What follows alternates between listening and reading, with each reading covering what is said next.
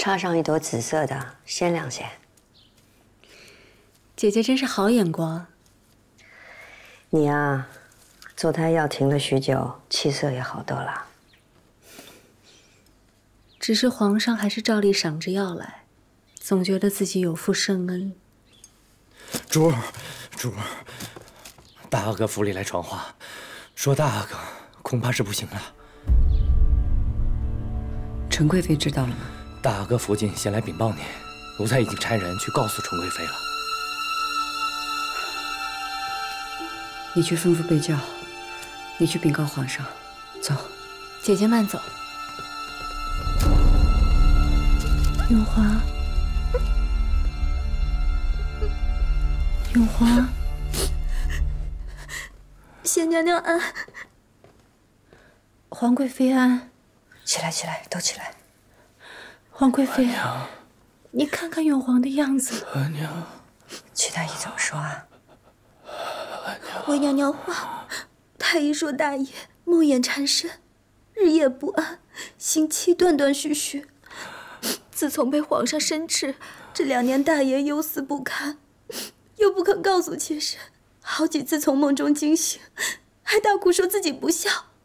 前几日，孝贤皇后的忌辰，大爷梦魇更厉害了，说要去找孝贤皇后理论。妾身你干什么？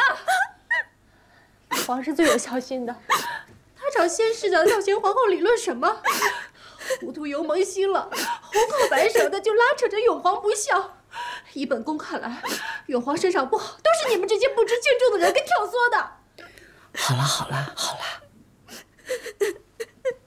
纯贵妃也是为了永皇着急。是，妾身知错了。阿娘，阿娘，阿娘，父皇。阿娘，阿娘，永皇是唤他的亲额娘，折命皇贵妃。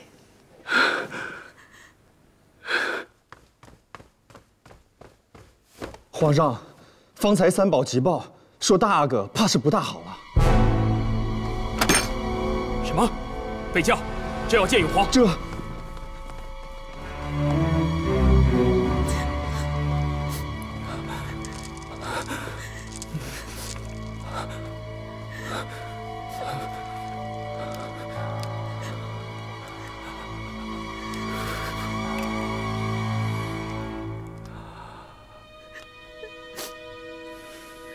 这是什么药啊？回两位娘娘，这是提神的药，大哥怕是回光返照了，有什么能说的话，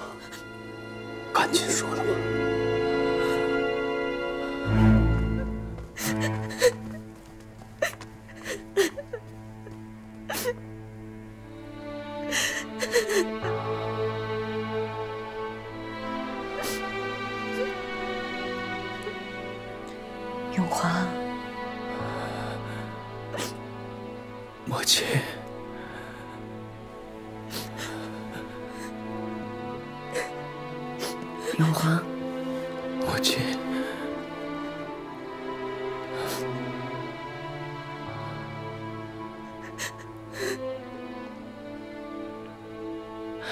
想来永皇有话对皇贵妃说，我们先出去了。出去吧。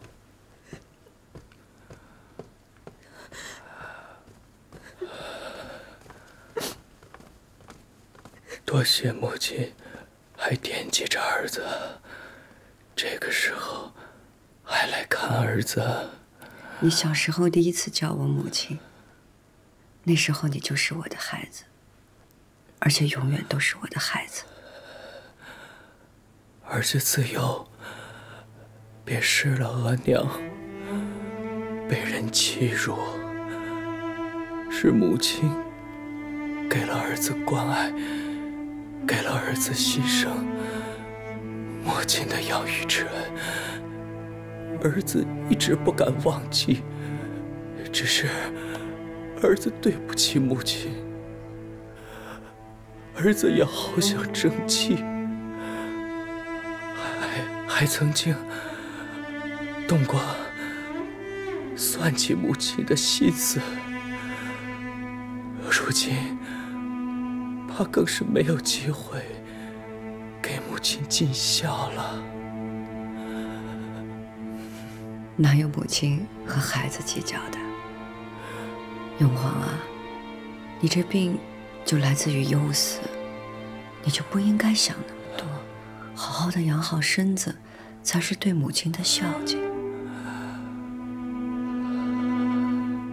儿子自知，怕是不能了。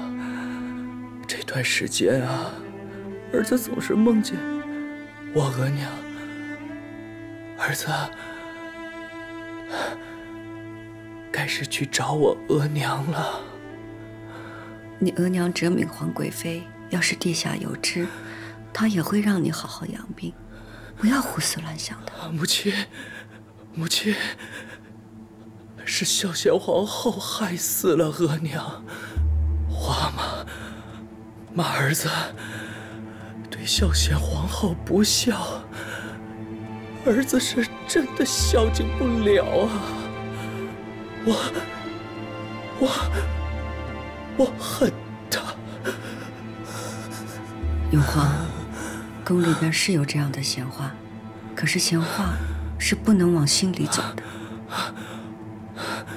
这不是闲话，是有人明明白白告诉儿子的。有人告诉儿子，孝贤皇后当年是如何。怨我额娘先生下了我这个长子，而容不下他，又是如何怨我额娘再有孕而动了手脚，害死了额娘和我的未谋面的妹妹。有人告诉你的？是，是。只可惜，只可惜。我明明白白知道的时候，小贤皇后已经死了。我知道了真相，也没有机会给额娘报仇了。母亲，母亲，儿子的心好狠呐！究竟是谁告诉你的？是家家。嘉嫔，永璜，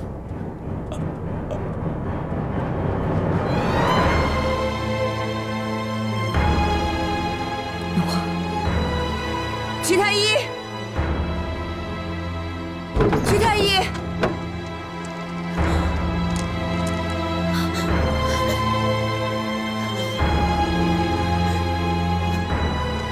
回两位娘娘，大阿哥。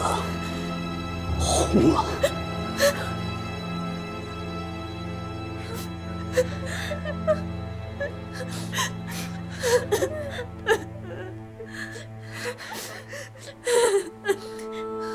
永璜。